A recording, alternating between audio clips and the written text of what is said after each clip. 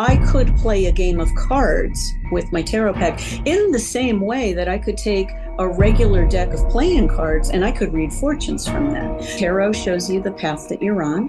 If we see something coming up that you don't like, it's an opportunity to do it differently. I have had clients who look at these pictures and they can read it with no knowledge of the tarot because they're just feeling the pictures because the pictures are so loaded with with emotion or or what they're going through sometimes literal symbols. Um, you know the magic of the tarot is how do the right cards fall at the right time with these specific questions?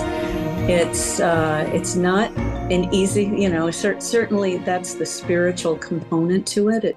I am totally not satanic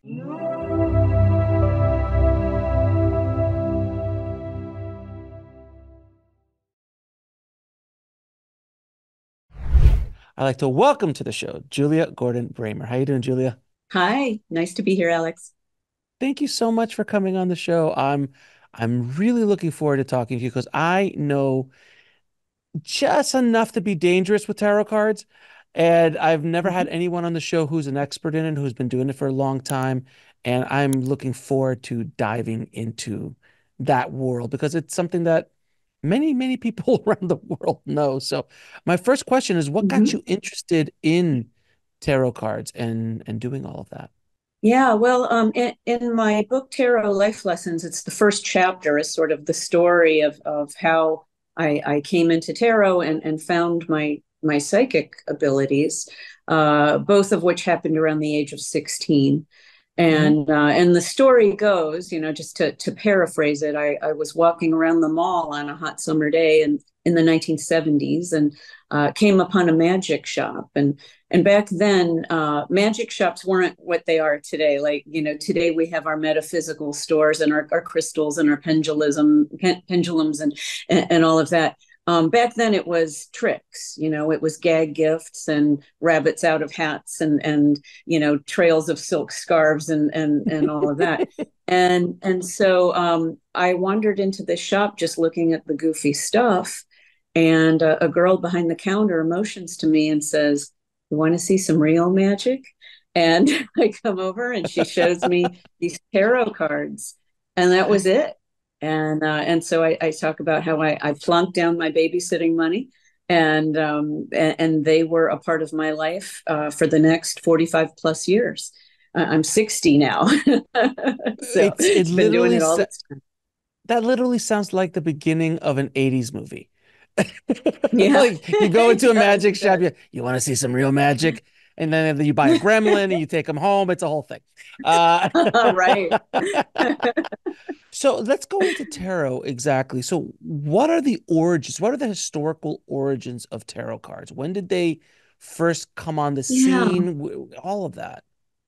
How old are So what we know definitely, yeah, what we know definitely is the oldest deck that has been found uh, is is in a museum in Milan, in Italy, uh, from the 1400s. So we know they're at least as old as you know the the the Renaissance and uh, and the Crusades, and I think that's an important part. Uh, so there's lore around the tarot, and the, here's where the Crusades come in, because of course the Mhm. Crusades were when the Catholic Church was the government, and uh, and they were kind of terrible to a lot of people who were not Shocking. Catholic, uh, Stop in, it. Stop it, including Stop it. including the the Romani travelers uh, known as the Gypsies. That's not not a not a nice word anymore, but but a lot of people have used that term over the many years, um, and uh, and also the Jews. Um, Mhm.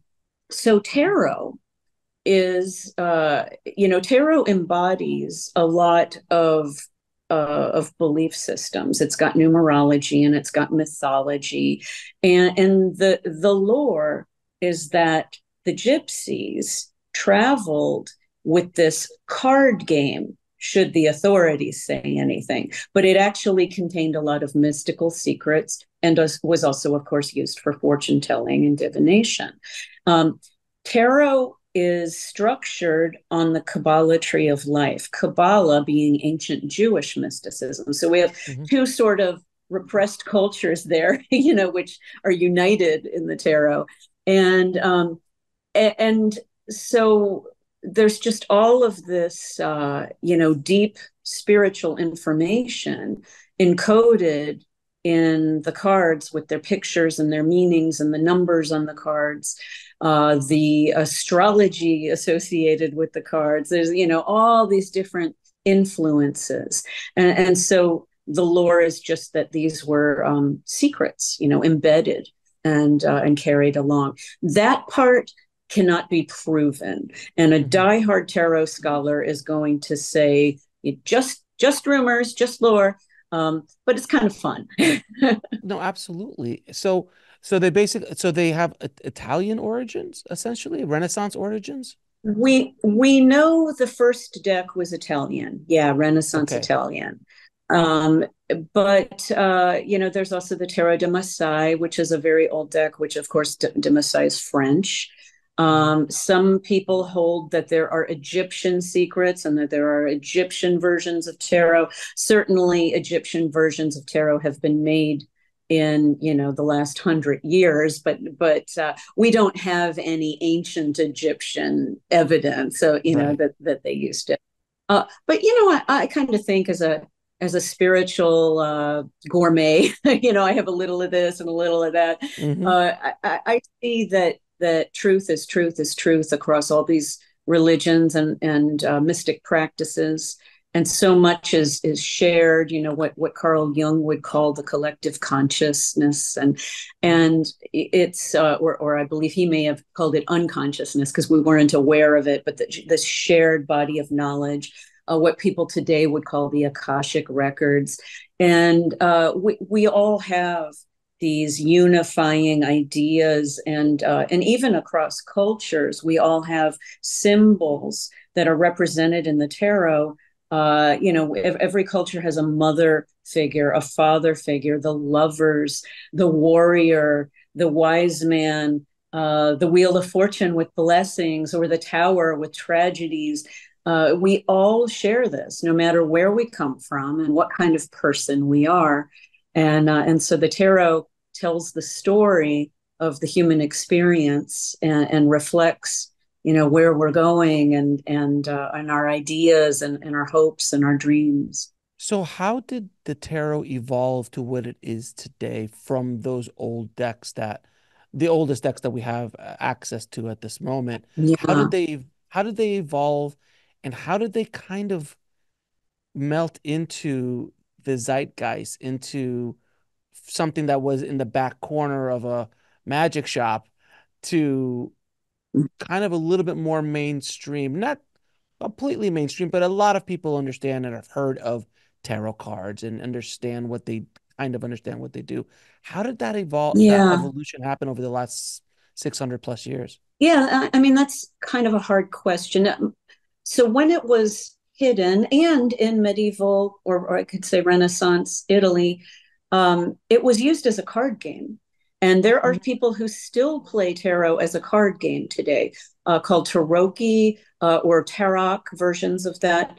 Uh, but um, so, so I could play a game of cards with my tarot pack in the same way that I could take a regular deck of playing cards and I could read fortunes from that because I know enough about the tarot to know how the symbols relate and and what would be the spades in a deck of playing cards becomes the swords in the tarot and what would be the hearts would becomes the cups and you know they they they have these interchangeable meanings. So so some people do still play card games and uh, and certainly it was you know card games in renaissance italy were for royalty um, most Italians were working and out in the fields or the bakeries or or you know doing whatever their their uh, skill was, and um, and and so the people of leisure played games. Uh, so so tarot was a game initially. Now I think tarot really got radically transformed around the turn of the century you know, just in Victorian times when we're looking at the Golden Dawn.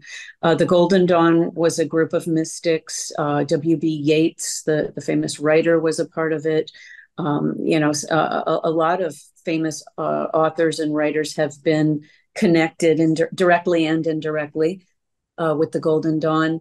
Um, and most famously, probably Aleister Crowley, uh, the uh, the you know I, I, don't know if you want to call him the great mystic or the the controversial mystic, mm-hmm. we'll say.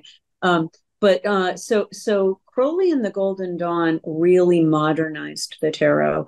They aligned it perfectly with the Kabbalah tree of life. They saw the correlations and the similarities. Um, many people had either seen it or intuited it going back to like William Blake in early England. Before the tarot had reached England, Blake had just intuited his own version of tarot, and, and him being a, an artist and a poet. Um, there is a I have I have a copy of the William Blake tarot. It's really phenomenal, and it's so close to the tarot that did come to England. You know, more than hundred years after the fact. Um, but he just felt it all. You know, this is a system of our behavior. This is a system of um, you know who uh, how how we maneuver ourselves in the world and uh, and the things we come up on so gosh where am i going with this um, so so crowley and the hermetic order of the golden dawn uh, they did a couple switcheroos. Uh, most notably, they switched the justice card and the strength card to perfectly align.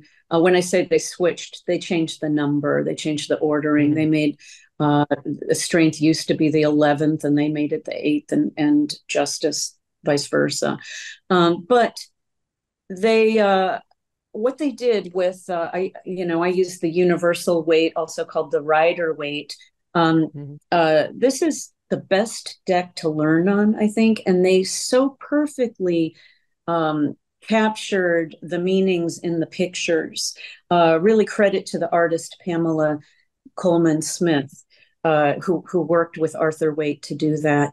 And I have had clients who look at these pictures and they can read it with no knowledge of the tarot because they're just feeling the pictures because the pictures are so loaded with with emotion or or what they're going through sometimes literal symbols um, you know the magic of the tarot is how do the right cards fall at the right time with these specific questions. Mm-hmm. It's uh, it's not an easy, you know. Cer- certainly, that's the spiritual component to it. it it's very psychological. Um, just to take it a step further into modern times, uh, Carl Jung, the famous psychologist, he used tarot. He he used it with his patients. Uh, he believed it was a way to expand our consciousness and to see into our subconscious and what was kind of ruling us that way. And that's really how we use tarot today. So that, that's a long-winded explanation. no, it's it's a it's a perfect explanation. I'm fascinated, especially when you start going into the historical aspects of things, because I I always like because you know tarot, just like numerology, just like uh, astrology, has gone into the woo a little bit too much. A little woo woo, uh, very discredited, kind of like oh they're crazy if they think that or that kind of those kind of things. Mm-hmm. And I mm-hmm. really like to connect, ground it to like, well, wait a minute, where yeah. truly where did these cards come from? I can't believe this was just yeah. made by somebody in Wisconsin somewhere in a factory. Like we need to sell cards let's do that. Like there's a historical background right. to it, and it's and and if there's a historical aspect to it, there's also a mystical and spiritual aspect to yeah. those, those cards. So that's why I'd like to ask yeah, these kind know, of deeper questions. I, I, liken it to dream analysis. So right. you know, we all have dreams, and we all you you have a dream, and you, and it's a symbol. You know, I I actually just wrote about a dream the other night uh, that I had, and and I was traveling on a road, and there was this big tree in the middle of the road that I could not get past. You know, so it's this obstacle, this thing I can't get around, right? You know, and and and so I have to say to myself, you know, is this a relationship or is this a work problem, or you know, I I have to take this symbol of this tree and identify it for myself. Well, reading tarot cards is sim- is similar that way. So uh, you know, I may pull up the strength card and know that this is a time that is really challenging my strength.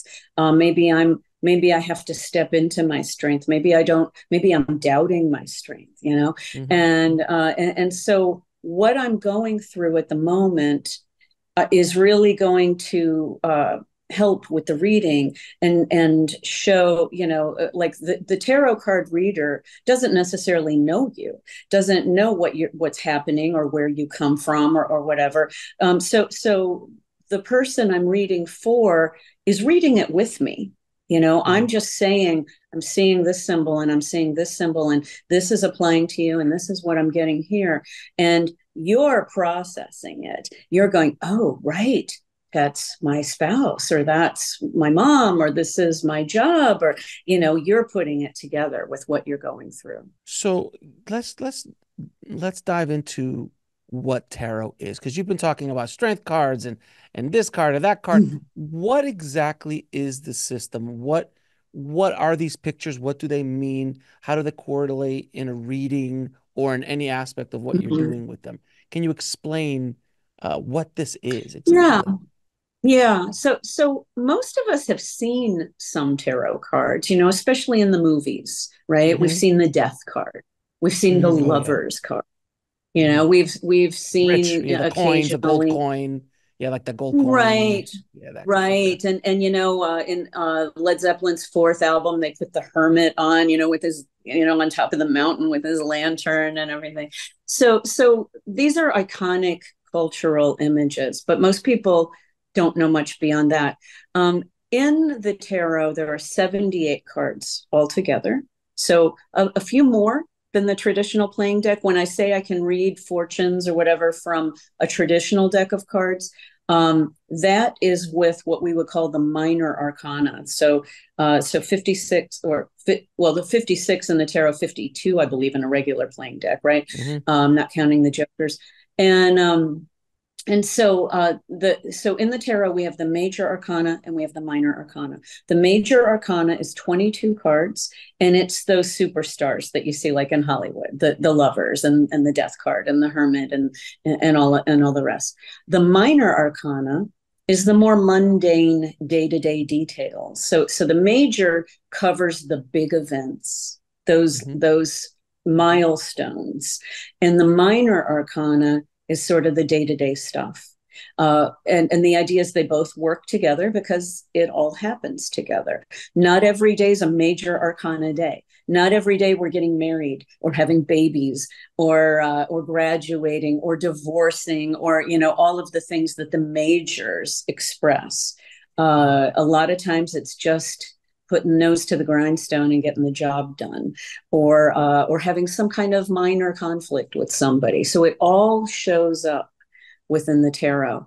Every um, every as i said every culture experiences these things. Um, within the minor arcana just like in a regular deck we have four suits. So we have the cups we have the wands we have the pentacles and we have the swords. And the idea is that these suits embody, um, you know, they're the elements. Uh, so pentacles are earth, and wands are fire, and uh, cups are water, and swords are air. Uh, there's also the idea that they embody different sorts of actions. So cups are love, pentacles are work and career.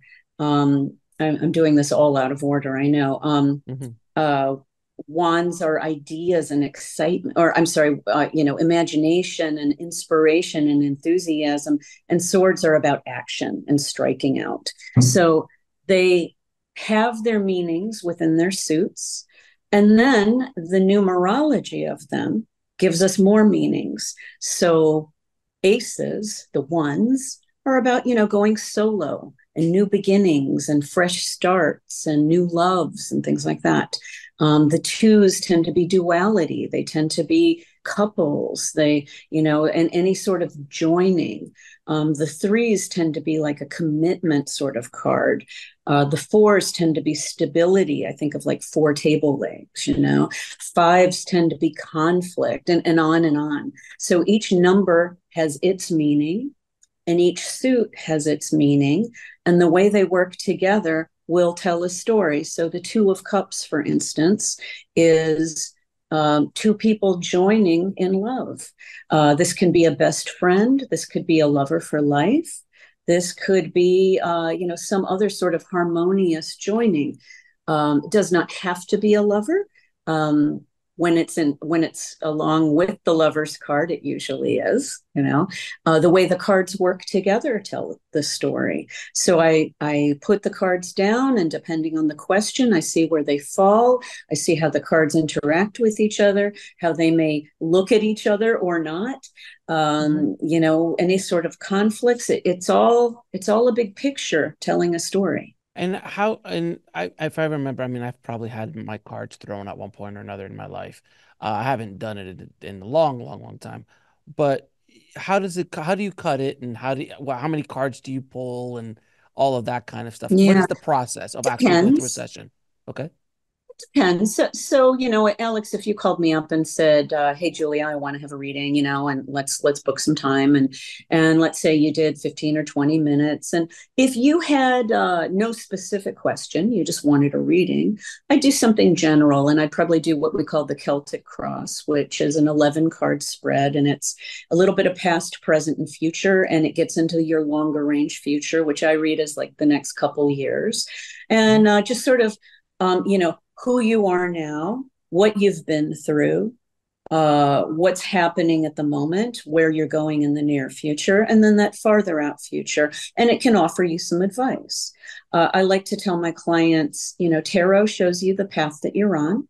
If we see something coming up that you don't like, it's an opportunity to do it differently. So mm-hmm. I'm never going to tell you you're doomed. You know, um, I believe I can read your cards because we're connected just by being alive. Uh, when I'm reading for you, I am tapping into you. Um, I, I believe that your life force is God, as mine is. I don't tell people how to do God or what to call God. That's your business. But I'm mm-hmm. I'm like, all right, you know, we're a part of this thing. You know, we we can put we can put the sperm and the egg in the test tube and create life, but that sperm and egg have to be alive first. You know, that life force is bigger than us and not in our ability to create that. And, you know, consequently, I believe that when we go away, that life force doesn't die. Energy doesn't die. It just goes mm-hmm. somewhere else. Science has proven that. So you mm-hmm. can call it energy. You can call it source. I do not tell people what to believe. But if you can sign on to that, if you can say, all right, I'm alive, I'm hooked into this God system, whatever, however you want to frame it, then you do have great power and what we put our mind on grows you know? So just in the same way that the athlete keeps their eyes on the prize and an athlete does not belittle him or herself and say i'm not strong enough. I'm not fast enough you know? And an athlete does not obsess over what could go wrong you know? What if i trip and fall? What if i don't make it to the finish line? you know? Mm-hmm. um, because that opens up the space for that negative thing to happen. So i'm giving you with the tarot a heads up and i'm letting you see where your energy is going kind of organically at the moment. And then you can go, well, I don't like that. And then I say, okay, Alex, that's your opportunity to change it and to go for what you want, not what you don't want. Because what we put our mind on grows, and we're always mm-hmm. growing what we put our attention on. So if we're very negative, I mean, you know, I, I tell people with all this politics going on today, love him or hate him, we have grown Donald Trump because mm-hmm. all the attention's been on him, you know, mm-hmm. good or bad. If your focus is on loving someone or if your focus is on hating someone, you're growing that energy of that person, mm-hmm. you know? Mm-hmm. So so you know the the thing is you put your energy where you want it to be you know where you find peace where where you can be the highest good and the and the greatest blessing. If you're enjoying this conversation i invite you to go deeper down the rabbit hole with me on next level soul tv it's packed with exclusive content like live special guest Q&As, daily podcasts, commercial-free access to the entire Next Level Soul catalog, early access to episodes before they air, and special meditations you won't find anywhere else. We will be adding new exclusive content every month. Plus, you can connect with me during my monthly live streams. Just go to nextlevelsoul.com forward slash subscribe and join our soulful community today. I'll see you on the inside. So when I work with my clients, and you know, I, I I can say that in my earlier days of being a professional, I probably, you know, I was still stretching my wings and figuring myself out. And, and I don't know that we're ever totally evolved, but I've evolved a lot over the last, you know, 20 years or so of being a pro uh, doing this. Uh, I've been reading since I was 16, so over 45 years, you know, just as a reader, but I'm talking about for money. Um, and, and, you know, in the earlier days, I would get a lot of, parties and a lot of sort of, you know, does he like me? You know, this kind of silly kid questions. And and my clients now, I, I'm attracting a much more highly um, evolved spiritual caliber of client that that wants to be here for a reason and wants to make this world a better place and wants to show up in their highest self and self actualize um, which is my goal too i mean uh, I, I, think that we're called right now. When I say we, I'm talking about me, my clients, uh, people like you, who are uh, we're at service to the world to be a light in a very dark time, and the world needs us more than ever. Mm-hmm. And so we are, and uh, and and the tarot can be a guide to get you there. Julia, I have to ask you because when you started this, uh, it wasn't the, it wasn't the cool thing to be uh, a tarot yeah. card. It wasn't it wasn't it wasn't right. quite accepted. Uh, it's not. I mean, in the scope of the of the abilities that I've had on this show, tarot is one of the more mundane, meaning more acceptable, as opposed to being a mm-hmm. psychic medium. I see dead people, or I'm a channel and I channel entities, and all of that. That's a, so tarot lower on the uh, acceptability, more kind of they look at you kind of like Really? How did you come out publicly sure. to do this professionally? How did you deal with yeah. your colleagues, your friends, your family? Is she nuts? Mm-hmm. What's going on? How did you? How did they deal with it, and how did you deal with the world dealing with it when you came out of the tarot cl- the tarot closet? Yeah, yeah. Well, I've I've always been the black sheep in my family, you know. Surprisingly, so have I. Surprisingly, so have I. Where Some you know, the, the the weirdos do that. It's okay. It's okay. yeah, we just came out of the gate that way, right?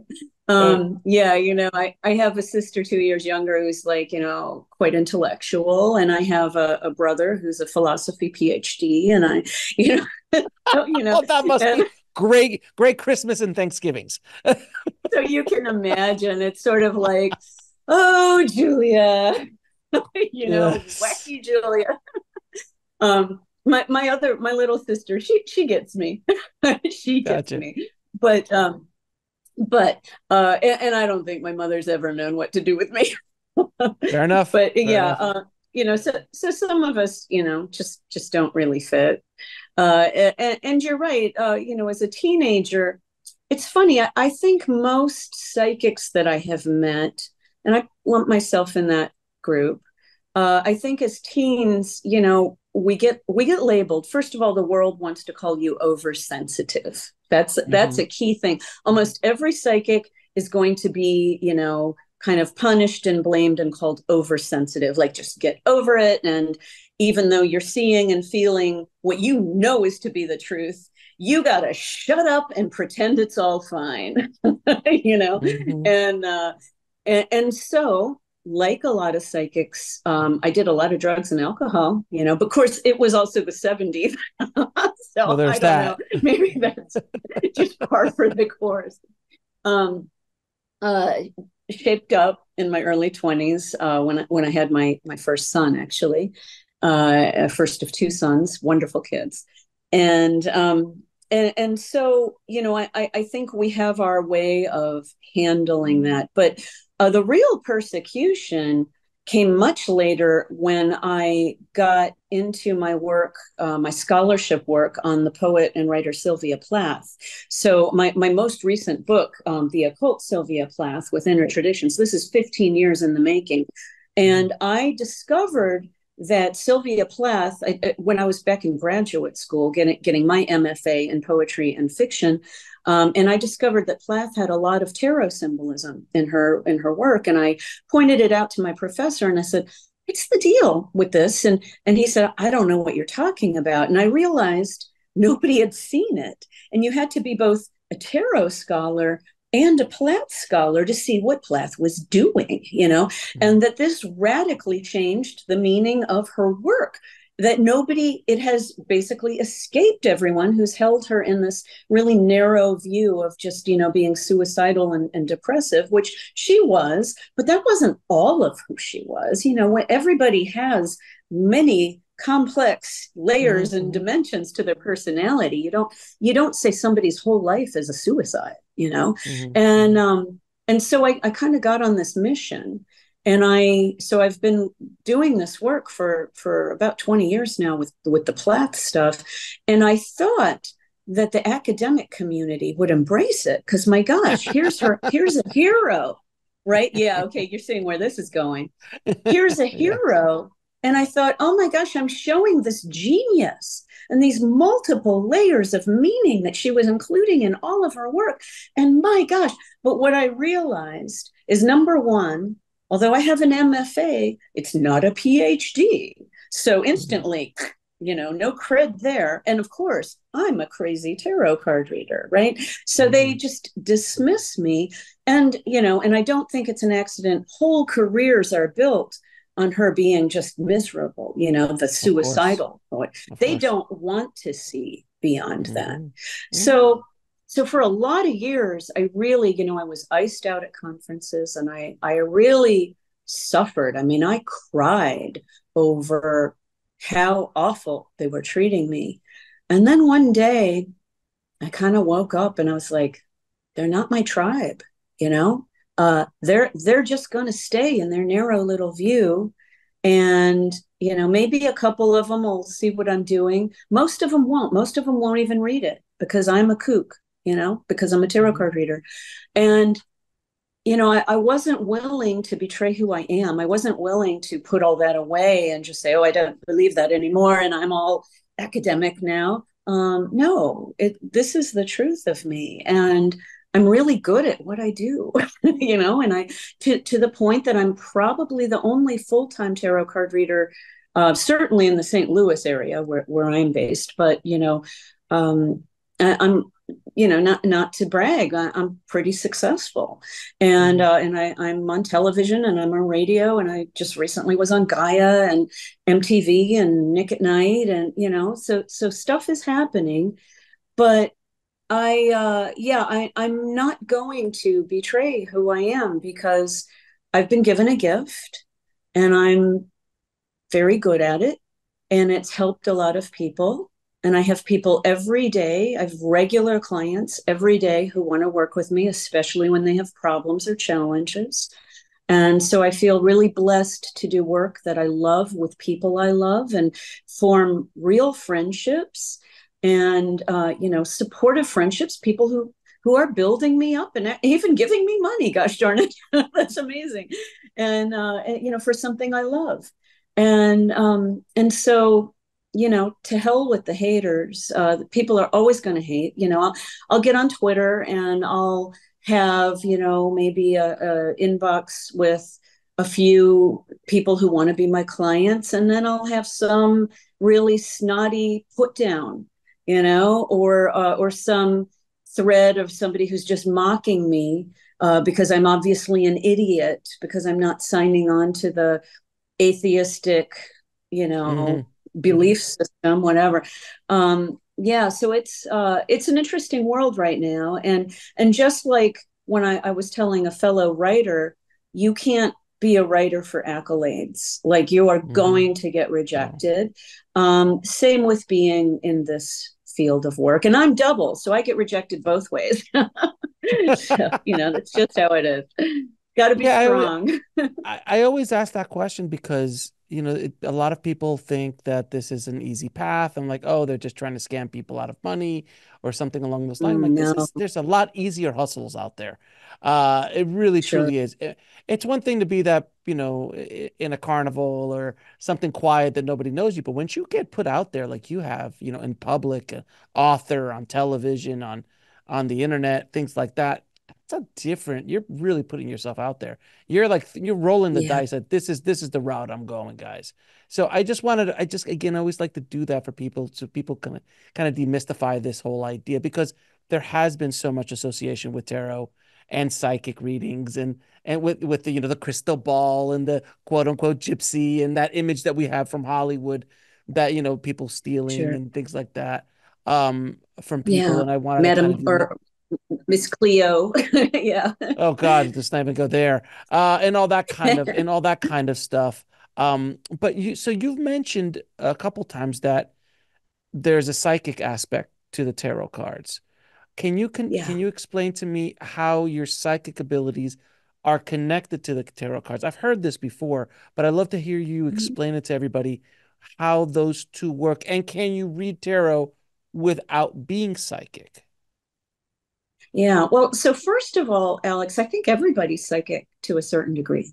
You know, we've mm-hmm. all had dreams that tell us something important or we've all had you know just the moment of thinking of someone and they call you and I was just going to call you you know and that that connection right. you know and uh, so so everyone has some I, I, compare it to like singing so everyone can sing at least a little bit and some people you could listen to all day and some people it's like oh god please stop you know and and so we can all do it but it's teaching yourself to pay attention. And I think a spiritual path really helps to develop your ability. Uh, so some people are just not interested in developing it at all. You know, some people just don't believe and they're like, no, I only have this many senses and that's it. And then other people are like, wow, you know what? I really do have a, a good uh, understanding of people. Like, you know, I, I, I always say men frame it differently. Like men don't usually say they're psychic. They say, I have a sense about somebody mm-hmm. or I have a gut feeling. That's like the mm-hmm. masculine way to do it, you know? And, and with women, it's more intuitive or psychic or, you know, premonitions, things like that. Uh, but we've all got it. You know, somebody could use just a book and read tarot. Mm-hmm. So mm-hmm. if you know nothing about it, you know, in in my book um, Tarot Life Lessons here from last mm-hmm. year, this is my my real life stories of being a tarot card reader, and I believe it's the second story um, is is a story of uh, I was at a party uh, and a drunk guy took my cards and he said, "I'm going to read for you." and he had no knowledge of tarot and he just threw down some cards and he gave me a surprisingly accurate reading and i believe he did that because first of all he was blotto so he was just open you know he had no judgments he wasn't afraid to be wrong which i consider as one of the big enemies of intuition is putting our ego in it and like afraid to tell somebody wrong or steer somebody wrong or you know and we have all this judgment you know. So this guy was just you know just just looking at the cards and riffing off it and it was and it was surprisingly a good reading with no mm-hmm. knowledge at all. And, and I think that's important because um, I know some people who study those books. You know, when I when I did write tarot life lessons, I did not want another how to read tarot book because there's already tons of them about what this card means and this card means, et cetera, sure. and different layouts. I wanted somebody to be able to see real stories and practical application of, of tarot. And um, and so the way I do it, well, we all have our different psychic gifts. Um, I I have a couple. Um, I am mostly what we call clairaudient, and what that means is I hear it in my head. So if I'm reading a card, reading your cards, I, I, set them down, Alex, and maybe you've asked me a question about your work or something, and I'll have a card, you know, show up, and I'll hear something. I'll hear just a word in my head you know, or a phrase. And so I've learned over time to trust that and to just tell it to you. I don't know what it means necessarily, but it usually relates to you, you know, and usually you go, and you know and or that's what so and so always says or that's exactly what i was thinking earlier today you know that that's the kind of response i get and so that's so usually I'm clairaudient. Um, I do also have um, premonitions. Uh, you know, I, I dream both uh, both at night and actual sleeping dreams, and also daydreams, which I, I consider to be visions. So um, in this book, in, in the first chapter, which is my story, Um, I, uh, I I talk about my first premonition being just um, I was I had just gotten my driver's license and I'm going down the road and I thought about a big crow on the side of the road with a broken wing. And I thought, why did I think about that? You know, it just kind of came into my head. And then within five minutes, I saw exactly what I had thought. I, this bird was there with a broken wing. And I think, well, what does that mean? To this day, I'm not sure, but I do think that as we get stronger, we're flexing our muscles and we're getting better and better and it's that paying attention. So that was my first conscious premonition. And i talk in the book about what crow symbolism is and how it unites even with my plath work and and, and different things there. Um, so it, it it was a meaningful symbol to me, and uh, like like the tarot will have meaningful symbols. You know, the, the right cards come up for you to give you the information you need to know. So I'm just the messenger and I am, you know, telling you what's coming. In really, you as the the person who's getting the reading, you're applying it to your life because, of course, I don't know your life. So it's just, uh, yeah, it, it's just that's how it works. So when you are a clairaudient, what are you connecting to? What is what is what are you are you connecting to your higher self? Are you connecting to the other side? Are you connecting to your client's yeah. higher self? What is where's the information coming from on the other side? So, because I have a background in the Episcopal Church, uh, and because, and that's another part of my story that in, in Tarot Life Lessons, um, my, my Episcopal Church was a little different. Uh, they taught me meditation. They taught me automatic writing on church retreats. They spoke wow. in tongues. Uh, so it was definitely more mystic. They called it charismatic. But that was my foundation. And so I call it Holy Spirit. Uh, I'm also a teacher and a practitioner of A Course in Miracles, uh, mm-hmm. which, which, would call it Holy Spirit as well. Um, mm-hmm. now, that said, you know, it's just a name. So you could call it God, you could call it Source, you could call it Goddess, you could call it mm-hmm. Mother, Father, God. A lot of my friends do that. Um, you know, uh, you could call it Spirit, um, sure. Energy. Uh, I, I don't think I don't think God has an ego to care about what the name is. That's a according to thing. the according to the Old Testament, he has a tremendous ego but that's a whole yeah yeah I, I, I, I, reject that. I think god's a little higher than that in my opinion. He's not that insecure. He's not that insecure right. i don't think or or she's not as right. insecure that's, that's, exactly. So do you so being a psychic um do you you don't technically need the cards. You just use them as a tool, essentially. Or do True. you need the cards? Yeah, right. Because from what I heard from other other channels and other psychics who were afraid of their gifts as being a psychic or a channel, they would use the tarot as a buffer because tarot mm-hmm. much more acceptable than hey, I'm channeling uh Mary Magdalene. Right. yeah, or something yeah. along those there's, lines. There's some of that. Um I love the cards. I mean, I always have. I I, I love how beautiful they are, mm-hmm. um, and I love that it gives a visual for my clients. So if they can see it with me, it's sort of like another layer of trust. If I'm just saying things, well, that might impress them. But if I'm saying things and showing them the picture and explaining how this picture is working and what, you know, that's sort of like, whoa. And, and really, it, I think it helps them to learn some of these spiritual lessons and, and learn, you know, just some life skills to, to evolve and rise out of some troubles and, and maybe bad habits and things like that. You know, the tarot will call us out on some of those things. And, and, and so I just think that they're such a valuable tool. Um, sure, I can talk to somebody, and I do all the time. You know, a lot of times my clients will call me up, and maybe I'll be on a long drive. I'm doing a lot of traveling for a book tour right now, and it's not unusual for somebody to say, "Hey, can I just talk to you for a minute?" And uh, and I'm, you know, out in the middle of nowhere, you know, and and like sure, and um, and, and I'll help them process something by what I'm feeling about it. And, you know, I do that all the time as well, which is another kind of reading that has nothing to do with the tarot.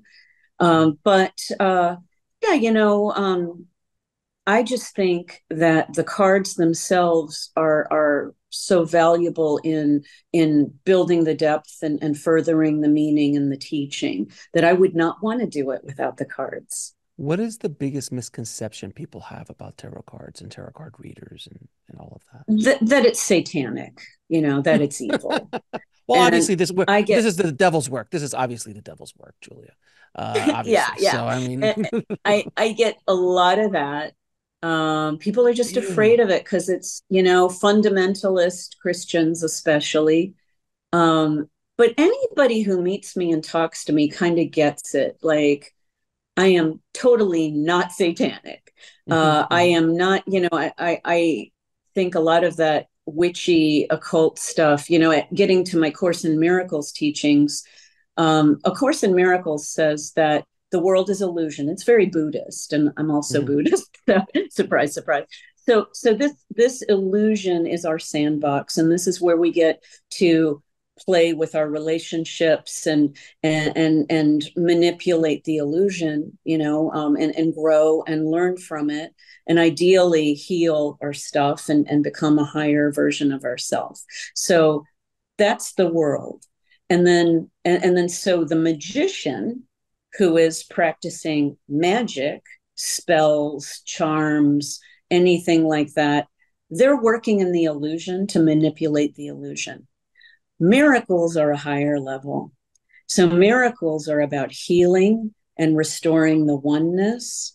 And we're not we're not playing in the illusion really. We're above it. And I know that sounds maybe a little bit conceited or superior, but um, it's just a higher goal and mm-hmm. so it, it's what the alchemist does you know uh, alchemy is is a three level thing so alchemy is practical alchemy which is in the world which is the the lead to gold idea in in chemistry and then it's the emotional alchemy of let's heal our stuff uh, like Jungian alchemy, you know, getting into the dark night of the soul and rising out of it. And then the spiritual level of alchemy, which is becoming one with your God self. And that's my mm-hmm. goal. And so, if that's my goal, wow, to call me a sa- Satanist, it's kind of you're, you're a horrible Satanist. You know? Horrible Satanist. I'm failing miserably. failing miserably. Satan, Satan would be in the earth stuff. You know, Satan is in the earth and ego realm. So right. um, I've I've had people back back when I used to do the Renaissance fairs, and and I have a story in, in Tarot Life Lessons of somebody wandering into my tent, and you know this teenage boy in his goth clothes with his buddy, and and they're you know thinking that the satanic stuff is really cool, and just making an assumption about me that I was into the dark stuff like them, and uh, boy did I disappoint them, and I also called them out on a lot of stuff and uh, and I also mentioned that that people in people dabbling in that dark stuff, there might be some energy there. I don't deny oh, it. Yeah. There may be, but yeah. there's a price to pay. And almost all those people have physical health problems and emotional problems and relationship problems. There is no happiness there. It's like, sure, you might have a little bit of uh, of an effect. You know, Aleister Crowley did some mm-hmm. but uh, but he was, you know, he he was very much in the ego, and he had a lot of relationship problems, and uh, sure. and I wouldn't want to be him, you know. Sure, fair enough, fair enough. Now, there's a lot. There seems to be a lot of stuff happening in the world. Uh, this year mm-hmm. has been a pretty chaotic, heavy, intense, year. intense, yeah. especially of, uh, since of since certain things have happened in the last uh, last week or so um, yeah. the assassination attempt and everything. What what I'm, I have to imagine that you have thrown the cards down uh, on what's happening in the world and where we're all going. Do you have any? Eh, does yeah. the cards have any predictions for? I don't, I don't need you to tell me who wins the election. I could care less. Mm-hmm. Um, but more just generally, like what is happening here in the, in the states, what's going to happen in the world for the rest of this year and coming next year. So here's the thing Tarot is personal. It's micro, mm. not macro. So mm. I really cannot tell you who's going to win the election. In the same way, you know, people say, uh, why don't why don't you you know bet on horse races? Why don't you use you know pick your cards for lottery numbers? Um, it doesn't work like that. No. It's about a personal connection. So you know, my example, if uh, if somebody asks me, you know, I, I can read about people close to you. If you were close to Joe Biden or to Donald mm. Trump, and and and if them winning the election, whichever one, would affect you, then maybe I could read that. Mm-hmm. I have been reading that we're going to have a pretty rough economy for a while yet. And I've been reading that because everybody's cards are reflecting um, concern about their retirements and concern about, you know, being able to buy groceries and, and, and all of this this basic stuff. So things are in turmoil economically, and I have mm. seen that just by gauging from so many clients with the same kind of readings, I can mm. get that we're not coming out of this really quickly you know economically and is um, it going to get is it going to get worse before it gets because right now the economy is for some doing extremely well but for many not doing well at all yeah. is that that high eventually going to come down to a place where everyone's hurting like in 08 yeah yeah i i would say um in the next couple years, I'm seeing most people hurting. Mm. So I'll, I'll, frame it that way. Now, uh, I do have a very large sample of clients. I have billionaires. I have a, a group of Miami billionaires that I read for regularly. I say that and that's um, there's for sure one and and a bunch of multimillionaires just just to keep it totally honest. I mean semantics um, semantics Julia yeah, they're all rich. Yeah. Yeah, they're all rich. Correct. Gotcha. Um they've flown me down and I've done parties on their yachts and and that sort of thing. So I have I have that group of people.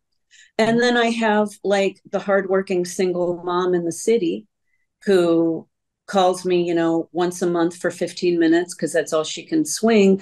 But she's got her questions and she's, you know, really applying herself and on her evolution. And what I will say is financially, everybody looks concerned. So that's interesting. Mm.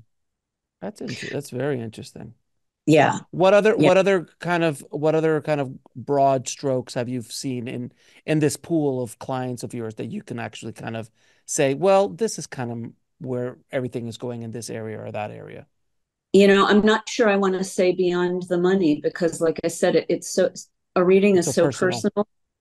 Mm-hmm. and uh, you know, I, it's it's how we're responding to the world and you know there's so many different kinds of jobs for instance and so sure some industries may go under because of ai for instance but uh, but they all won't and mm-hmm. uh, I've seen a lot of trouble in the teaching world. But I used to teach myself in in the universities, and uh, so oh, you know they're oh, yeah. they're doing oh, yeah. so much with just they're basically taking all the class plans that everybody works so hard to develop and they're just sticking them in a computer and letting the computer teach now you know and uh, so uh, yeah so you know I, there's a lot of a lot of pain in in the academic world that way.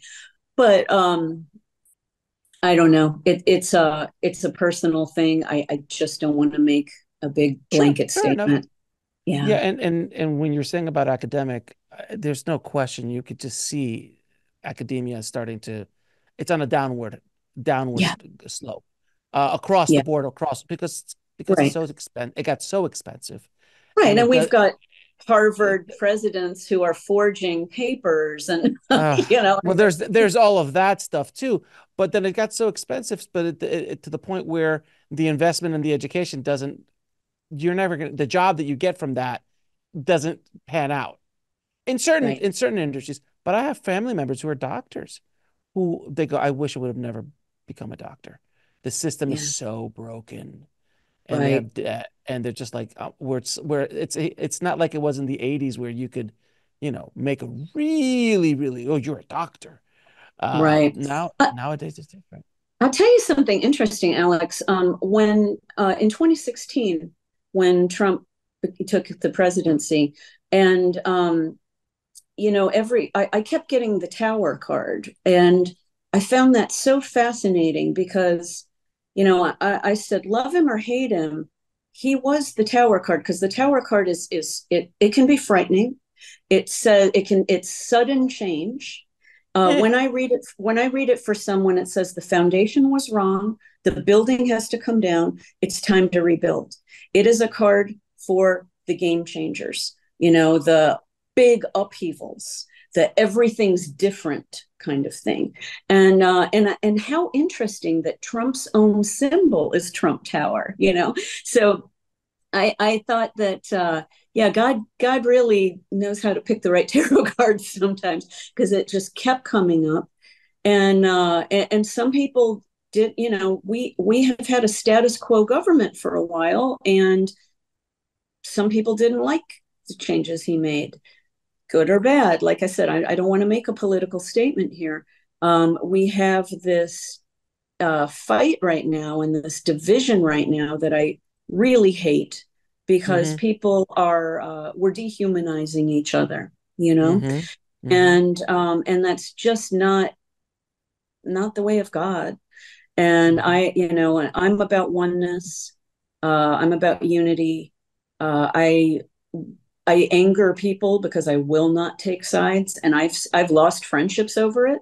You know, mm-hmm. especially since like 2020, uh, because they want to see me. They're saying this is the time, and we have to unite, and you have to be on this side. And I'm like, I'm on the side of humanity.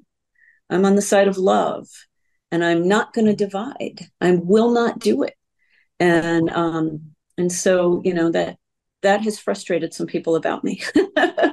but uh, but yeah but but all this stuff you know it, it will show up for the individual you know so how your experience of the political situation that will show up but i just can't mm-hmm. give you a universal experience fair enough fair enough uh, do you have any advice for someone who is wanting to start using tarot cards either for yeah. themselves or mm-hmm. for others like, so, what advice would you give them that's that's in my book tarot life lessons. Um you know at the end of every chapter i have sort of a tip you know on selecting your own cards or you know kind of dispelling some of the the superstitions. Like some people believe you have to be gifted a deck versus buying your own things like that. So i talk about all of these things. Um, i talk about layouts and again people are overly concerned about being wrong you know. Do mm-hmm. i lay the cards out properly uh, is you know and so I, I, talk about leaning into your intuition and uh, offering tips like that. Um, I, I, am a big believer in trusting yourself and trusting what comes to you and that that's intuition. And that in in my world there aren't all these rules. I don't like hmm. rules. I'm a sagittarian. I've never liked rules you know? So so uh, I, i'm about going with with what i feel now, I'm going to ask you a few questions I ask all my guests. What is your definition of living a fulfilled life? Ooh, I, I think it's reaching my highest potential. Um, I don't think it means that we're happy all the time. I, people talk to me about, oh, I just want to be happy. And I say, that's ridiculous because that's not an appropriate emotion for most of our experiences.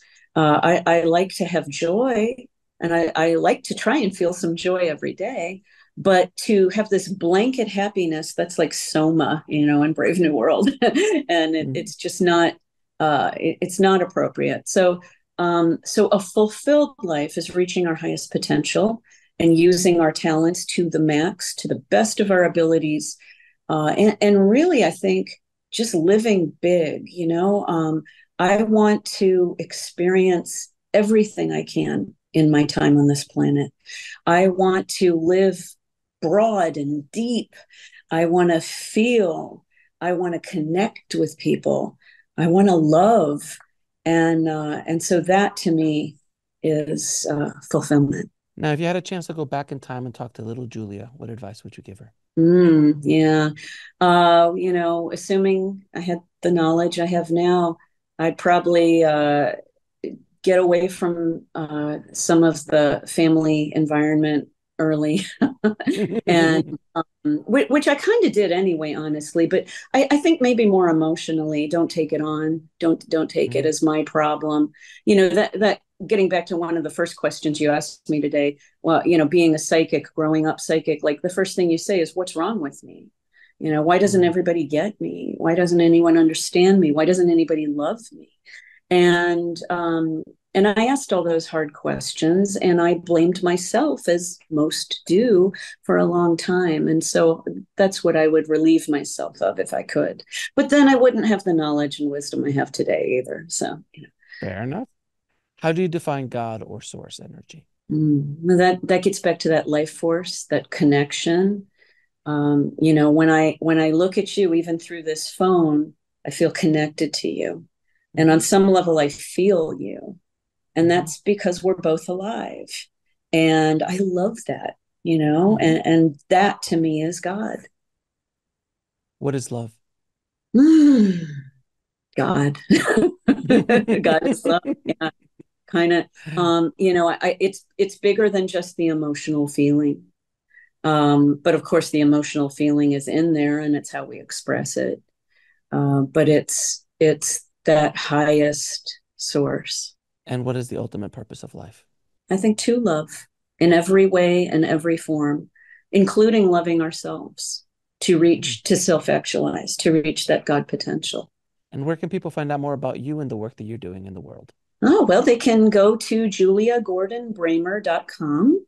Uh, they can also pick up one of my most recent books. I mean, I, I have five books altogether, but uh, recently, last year, last November, Tarot Life Lessons came out with uh, Destiny Books. And this past May, The Occult Sylvia Plath came out. Um, this is a biography. This is not about me, um, but Tarot Life Lessons is a lot about me. So if you're interested, um, I recorded them both on audiobook as well. Uh, distributed through Simon and Schuster. If there are any bookstores listening, uh, and um, and I'm on a book tour uh, they can find the dates on my book tour on juliagordonbramer.com. They can get a reading with me by contacting me through that website. Um, mm-hmm. You can also find me on Twitter and Instagram, J Gordon Bramer. Uh, and uh, yeah, I, I, love to talk to people who are into this. I, you know, I'm getting busier and busier with all this traveling. I don't always have tons of time to to just you know shoot the breeze but um, i'm happy to answer some questions about tarot or myself or anything. And do you have any parting messages for the audience? Not really. Just thank you for having me and uh, it was a joy. I appreciate you being on the show and thank you so much for helping awaken the planet my dear. Thanks again. Thanks alex thanks for watching Click on one of the videos below to continue your journey and don't forget to subscribe.